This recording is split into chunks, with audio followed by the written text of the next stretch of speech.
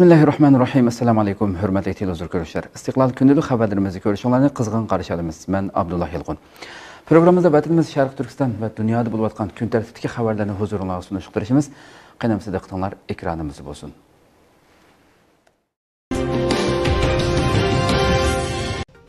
Avstraliya Şərqi Türkistanğa əlaqədar qanun təklifi sundu.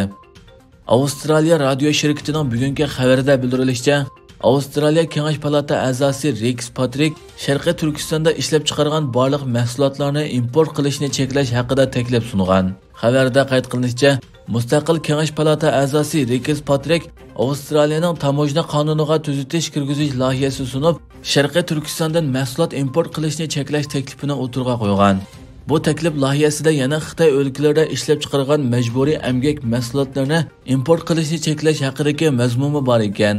Undan boshqa bu federativ hukumatni Xitoyning Sharqiy Turkistonda ijro qilayotgan бастырыш qilmishlarini irqiy qirg'inchilik deb e'tirof qilishga chaqirgan.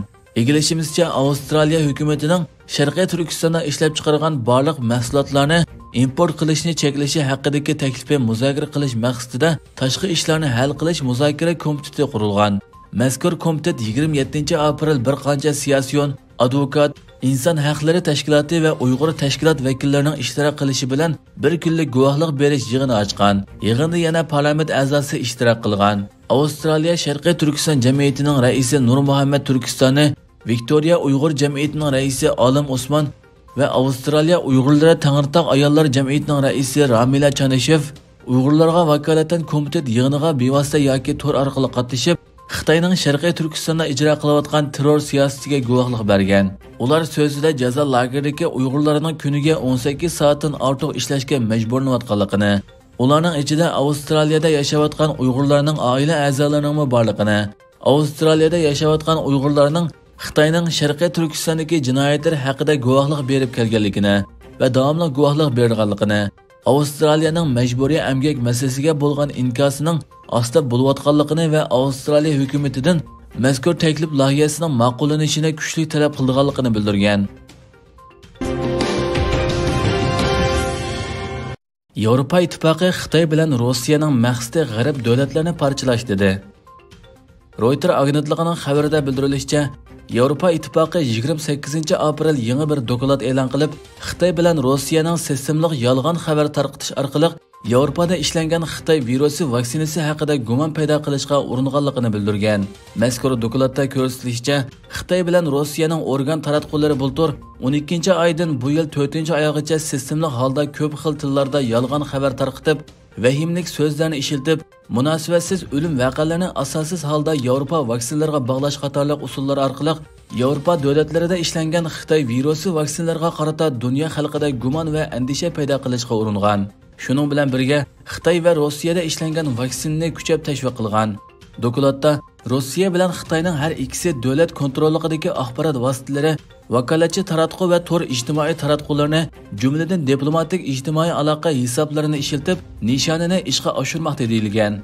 shundoqla Xitoy bilan Rossiyaning bu xil yolg'on xabarlarini tarqatishdagi maqsadning g'arb davlatlarini parchalash ekanligi ta'kidlangan. Xitoy bilan Rossiya buningga darhol inkos qaytargan bo'lib, bu haqdagi ayblashlarni butunlay rad qilgan.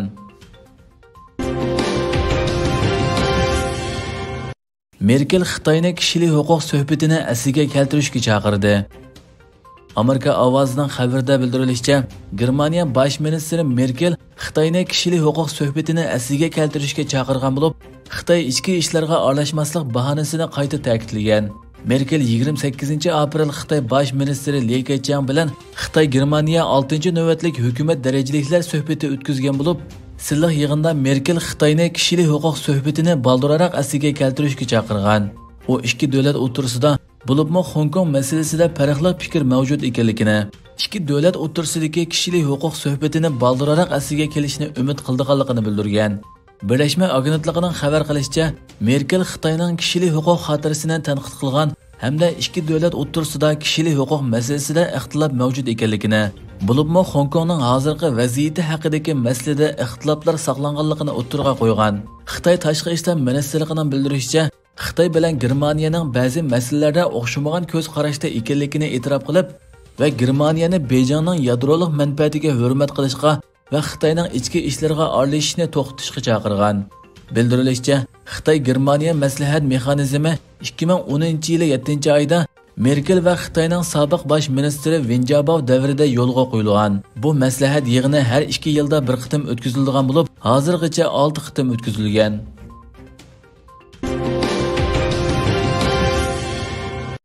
Huawei'ning tunji fasllik kirimi zo'r darajada tuvalligan. Amerika ovozining xabarida bildirilishicha, Amerikaning jazosi sababli Huawei sherikatining birinchi fasllik kirimi zo'r darajada tuvalligan. Xabarda qayd qilinishicha, Huawei shirkati 28 aprel doklad e'lon qilib, shirkatning birinchi fasllik kirimining 152 milliard 200 million yuanga yetib, bulturqa o'xshash mazgildagidan 16% tuvalliganligini, buning shirkatning Honor markasini setish bilan munosabatli ekanligini o'tirg'a qo'ygan. Şirketning navbatdagi direktori Shu Jijun 2021 yilning Huawei uchun yanada xirisqa to'lgan bir yil ekanligini e'tirof qilib, shirkatga qo'yilgan jazoning ta'minlash zanjiriga ko'rsatayotgan ta'sirini hal qilib, xaridorlarga davomli savdo qiymati yaratadiganligini aytgan. Amerikaning sobiq prezidenti Trump Huawei Xitoy doiralari bilan hamkorlashib, aloqa mahsulotlari orqali Amerika va uning ittifoqdoshlarining uchurlarini o'g'irladi deb ayblagan. 2019 yili Huawei'ga qarshi eksport kontrol buyrug'i tushirgan hamda shirkatning Amerikadan muhim texnikalarni sotib olishni cheklagan edi. Buningdan boshqa Trump hukumati yana Yevropa va Osiyodagi ittifoqdoshlarini 5G to'rining darajasini o'stirganda Huawei mahsulotlarini ishlatmaslikka qoyil qilgan bo'lib, bu yil birinchi oyda vazifaga o'ltirgan Bayden hukumati ilgirki hukumatning nurg'un siyosatlarini davomlashtirgan. Huawei yanada Xitoyning bozorida muhim o'rinni egallab turgan bo'lsa-mu, xalqaro bozorda davomli o'ngsizliklarni boshdan kechirgan. 2020 yili shirkatning Yevropa, O'rta Sharq va Afrika bozoriga kirimi 12% tuvalgan. Xitoyni o'z ichiga olmagan Osiyo bozoridagi kirimi 9% ga yaqin tuvalgan. Amerika bozoriga kirimi bo'lsa 25% ga yaqin tuvalgan.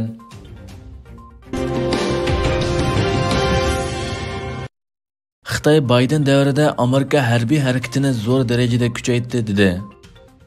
Amerika ovozining bugungi xabarida bildirilishicha, Xitoy davlat mudofaa ministrligi bayonotchisi Bayden hokimiyat bishig'i chiqqandan keyin Amerika armiyasining Xitoy atrofidagi harbiy harakatini zo'r darajada kuchaytirganligini bildirgan. Xitoy davlat mudofaa ministrligi bayonotchisi Wu bugun qarorlik muxbirlarni kutuvlash yig'inida so'z qilib, hozirgi Amerika hukumati vazifaga o'ltirgandan keyin Amerika urush paroxotining harakat soni burunga o'xshash mazgilligiga qaraganda 20% oshdi. Razvedka aeroplanining faoliyat qitim soni 40% dan ishib ketdi. Amerikaning bu harakati rayon tinchligi va muqimligiga tahdid soldi. Xitoy buningga qat'iy qarshi turdi degan. Vuchan muxbirning aloqador savoliga javob berib, yaqinda Xitoyning aviamatkasi normal mashq qilayotganda Amerikaning Mustin nomli qudug'uchi aeroplanining Xitoy pilotining mashqiga og'ir darajada daxl qilganligini, Xitoy dengiz armiyasi paraxoti va xodimlarining bexatarligiga tahdid solganligini bildirgan. Ma'lum bo'lishicha, prezident Bayden chorshanba kuni o'tkazilgan parlamentdagi yig'ilishda ilgari o'zining Shi Jinpingga Amerikaning to'qinishini xohlamaydiganligini, ammo Hind Tinch okean rayonida kuchli harbiy mavjudlikni saqlab qolganligini aytganligini bildirgan. U yana Amerikaning bu harakatining urush uchun emas, balki to'qinishdan saqlanish uchun ekanligini bildirgan.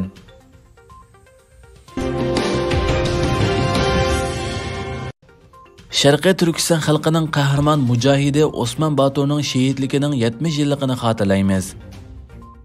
Sharqiy Turkistonning mustaqilligi uchun kurash qilib, borliqini pido qilgan Sharqiy Turkiston xalqining botir o'g'lani Osman Islom o'g'li Sharqiy Turkistondagi qozoq muhojirlardan biri. u 20-asrning oldingi yarmida Sharqiy Turkistonga tajovuz qilgan Xitoy va Ruslarga qarshi jasurona kurash qilgan bo'lib, 1951 yili Xitoylar tomonidan shahid qilingan. Osman Batur 1899 yili Sharqiy Turkiston Altay viloyati Ko'kto'qay nahiyasi O'ngdir qarada tug'ilgan. Uning asli ismi Osman Islom o'g'li bo'lib, Sharqiy Turkiston xalqi tomonidan Batur nomi berilgan. Osman Batur qozoqlarning ko'chman hayot muhitida o'sib yetilgan. U 10 yoshidan burun yaxshi chavandoz va mahoratli ovchi bo'lib, 12 yosh vaqtida Boki Baturdan jang mahoratini o'rgangan. 1940 yili Xitoyning Sharqiy Turkiston xalqiga ijro qilinayotgan kamsitish, bostirish qatorliq turli zulmlari kuchayishga boshlagan vaqtlarda miltiqi bilan yolg'iz taqqa chiqib ketgan va 1951 yili 4-oyning 29 kuni Urumchida shahid qilinganga qadar Xitoyga qarshi kurashini davomlashtirgan. 1945 yilga kelganda Sharqiy Turkistondagi bir qancha shaharni hisobga olmaganda butun joylar Sharqiy Turkiston xalqining qo'liga o'tgan. Bu ahvoldan xitoy qattiq jiddiylashib zo'r qo'shin bilan bostirish harakatini boshlagan. 1951 yilga kelganda osmon botur tutilib urumchiga elib ketilgan. 1951 yili 4 oyning 29 kuni uning putqollar kesib o'tilgandan keyin miltiq bilan shahid qilingan. Keyin osmon boturning bolalarimi dahshatli qiyin qistoqda o'ldirilgan.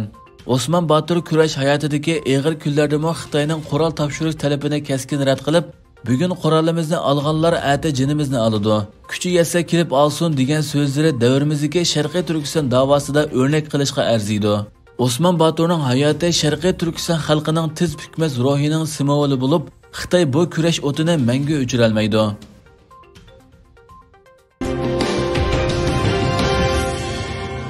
Fayzil yil oxirigacha Xitoy virusining dorisini bozorga silishimiz mumkin dedi. Amerika dori shirkati Fayzil Xitoy virusi dorisining dastlabki bosqich sinoqlarining o'tganligini va mushu yilning oxirigacha bozorga silinishining mo'ljallanayotganligini e'lon qildi. Xitoy virusi vaksinasi bilan ta'minlash va vaksinaning aks ta'sirlari to'g'risida munozaralar davomlashayotgan bir vaqtda Fayzal Dori shirkatining ijroiya kengashi boshlig'i shundoqla yuqori darajalik boshqaruvchisi Albert Borla Xitoy virusi dorisining 2021 yilning oxirigacha bozorga sunilishi mumkinligini bildirgan. U PF07321332 ismli dorining virusning o'xshamagan nusxalariga qarshi turishda ilgirgi dorilarga qaraganda yuqori unumli natija berishi mumkinligini eskartgan. Fayzilning ilmiy tadqiqot ishlari mas'uli Michael Dolistin mazkur dorining yuqumning dastlabki alomatlari ko'rilganda bemorlarning doktorxonada yetib davolanishiga yoki jiddiy davolanishiga hojati bo'lmasdan retsept yezib beriladigan davolash yoshirin kuchiga ega qilib yasaganligini bildirgan. Pfizerning mazkur dorisi mart oyining boshlarida birinchi bosqichli sinovdan o'tgan bo'lib, Xitoy virusining odam badanida ko'payishining oldini oldi ekan.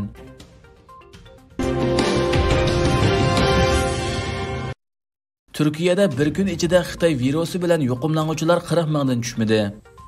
28 aprel Turkiya Səhiyyə ministri Fahrettin Koca bir kun ichida Xitoy virusi bilan yuqumlanuvchilarning 40444 ga yetganligini e'lon qildi.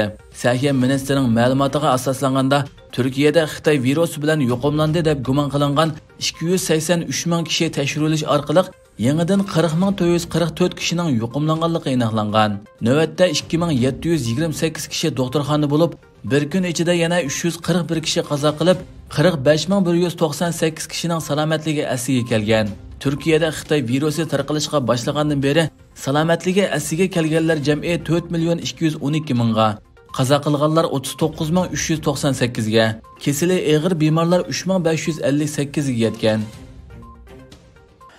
Hurmatli televizor ko'ruvchilar shunday qilib bugungi xabarlarimiz mush yerda oxirlashdi inshaalloh atigi xabarimizni ko'rishguncha sizlarni janobiy alloh topshiramiz shunday qilib programma oxirida ekran orqasidagi barliq xizmatdoshlarimga ko'pdan ko'p rahmat aytaman assalomu alaykum va rahmatulloh